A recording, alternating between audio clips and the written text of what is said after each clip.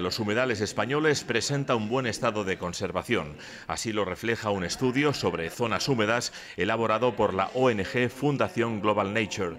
Esta poco alentadora radiografía de nuestros humedales la ha presentado la ONG durante una conferencia dedicada al papel que tienen estos ecosistemas en la lucha contra el cambio climático. Evidentemente los humedales se ven afectados por el cambio de la dinámica que natural que está ocurriendo por los fenómenos meteorológicos que se están agravando con el tema del cambio climático. Se concentran, hay menos eh, ciclos hídricos, llueve menos, pero lo que llueve, llueve en, pequeñas, en pequeños eventos muy fuertes. Pues es una situación que yo diría de cuando nos lo encontramos ha mejorado algo porque hemos empezado a poner en marcha medidas, pero de una vulnerabilidad muy importante porque no podemos estar en base a si llueve o no llueve. Un humedal es una cuestión muy importante desde el punto de vista de cómo afecta a todo lo que es nuestro entorno desde un punto de vista climático y desde un punto de vista medioambiental.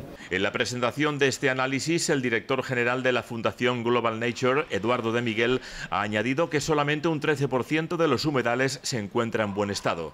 Las cifras, por tanto, corren en nuestra contra, pues a día de hoy más del 60% de los humedales de este país ha desaparecido y de los que quedan, cerca del 50% está degradado reunidos en la Conferencia Internacional Conservación y Gestión de Humedales ante el Cambio Climático, que esta semana acoge la ciudad de Valencia, los especialistas climáticos y de biodiversidad han abordado la importancia de preservar estos ecosistemas, muy amenazados, pero esenciales para frenar el calentamiento y sus impactos.